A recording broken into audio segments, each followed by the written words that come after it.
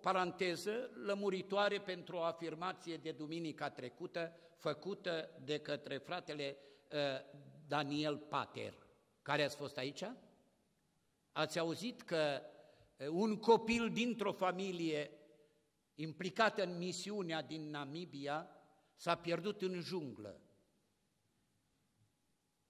A fost găsit după două zile la distanță de 176 de kilometri în junglă. Și după ce a fost găsit, fără speranțe de a fi găsit, după două nopți de căutare și două zile. Și cineva i-a spus mamei sale, știți cine este mama acestui copil? Cei care ați fost mai de mult în biserică pe Țibleș, vă mai amintiți pe Doris.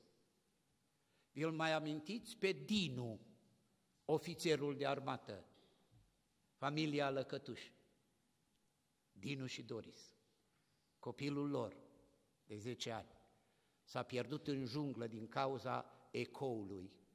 Când a fost, a fost plecață mai departe de bază și când a fost chemarea la masă, ecoul a jucat feste pentru că a strigat de aici și ecoul a răspuns din partea cealaltă și copilul derutat a luat-o pe direcția de unde a auzit ecoul și spunea apoi, am văzut elefanți ăia mari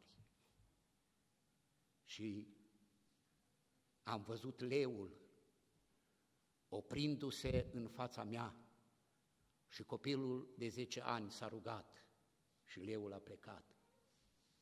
Au venit câinii sălbatici să-l atace și să-l sfâșie și a scăpat urcându-se într-un copac, fără apă, fără mâncare, n-aveau nicio speranță, când totuși, prin îndurarea lui Dumnezeu, l-au găsit.